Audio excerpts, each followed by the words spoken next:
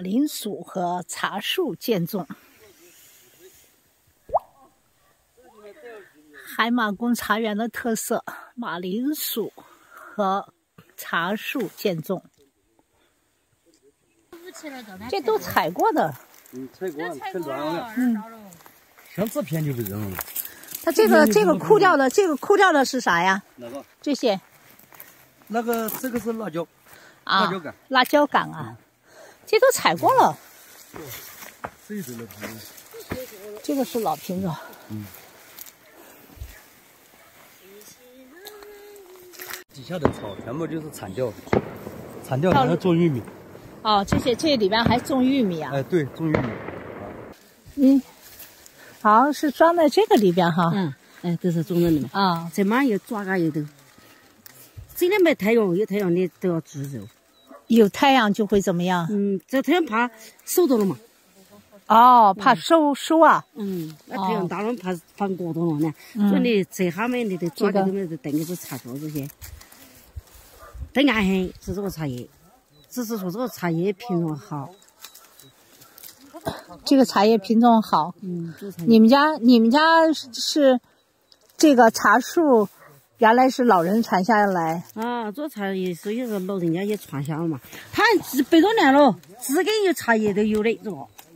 这有像这些，而且没有再安的，而且可再有人了是，一二三十年的，都这个是自己栽的。看了嘞，这些大家都好黑，二十钱好黑，全买了看了的。这些是后来种的是吧？这是后面种，后面种的，在后面种。二三十年了。后来种的也有二三十年了。有。哦。反正他一说老子弹没散跑，哈，可以用哈哈。嗯，要配。我的衣服兜里随时都是有茶香味的。他不知道我随时都拿衣服的兜来揣茶叶，是不是？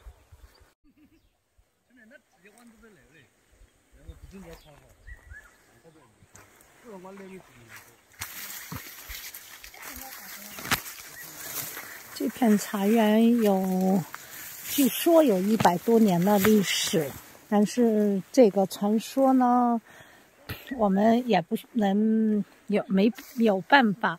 啊，知道它是不是真的？因为这个茶树种子从哪儿来的，谁也说不清。但是它现在这个茶树的生长啊，高度大概有一米八左右，因为我是一米七二的身高啊，比我还要高出一些。我们来看看它的茶树根是砍掉了又长，长了又砍的。九十岁的老奶奶还在山上采茶。奶奶，来来，有人要采访你。嗯，采访你。奶奶，你今年九十了？我说。他 他说你，他他问你好大了？我年纪好大了。哦。他我年纪是八十九了。八十九。嗯。哦，八十九啊，八十九了啊，那您还出来采茶呀？嗯，今天采了多少？啊，还不错啊，待会儿回去单独奶奶 采的单独炒。奶奶采的我们单独炒，是吧？奶奶采的单独炒。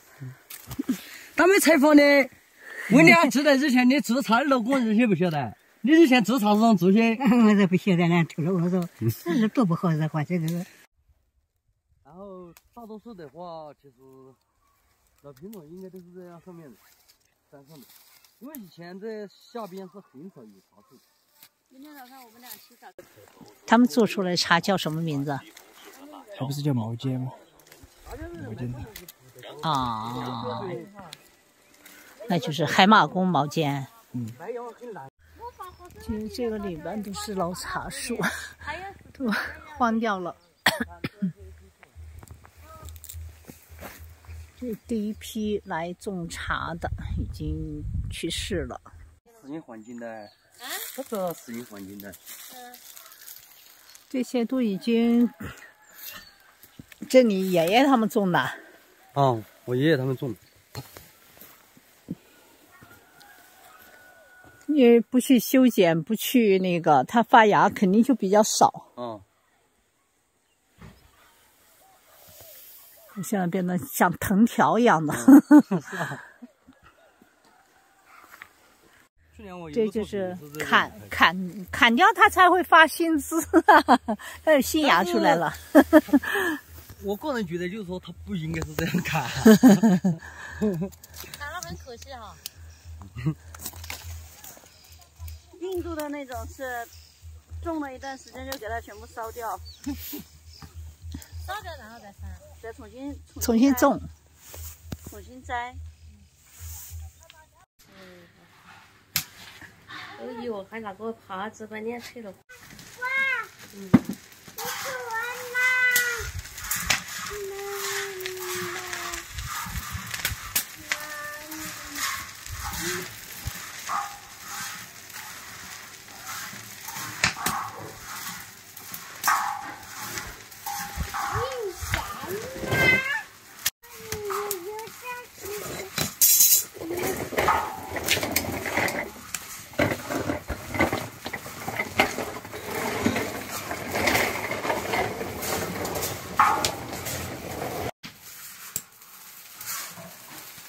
家茶就这么出来的。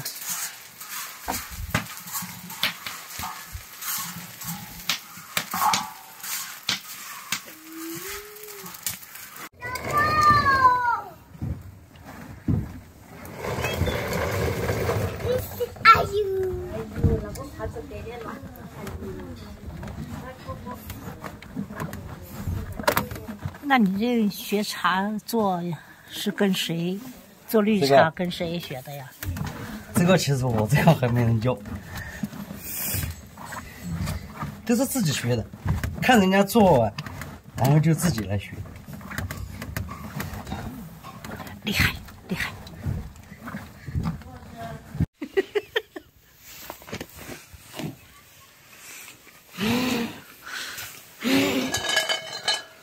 这完全靠肺活量啊！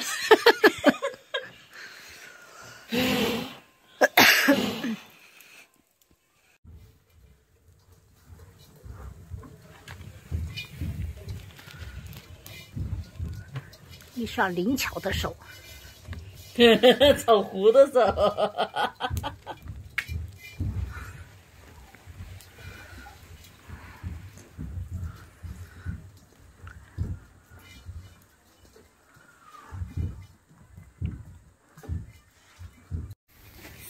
真的是炒米香，现在然后今天我的群体种，啊，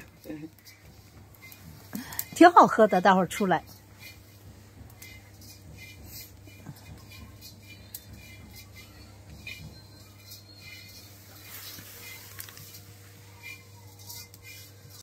你神操作，你要早提醒啊！我不知道你要 好，一会儿我们喝明粥。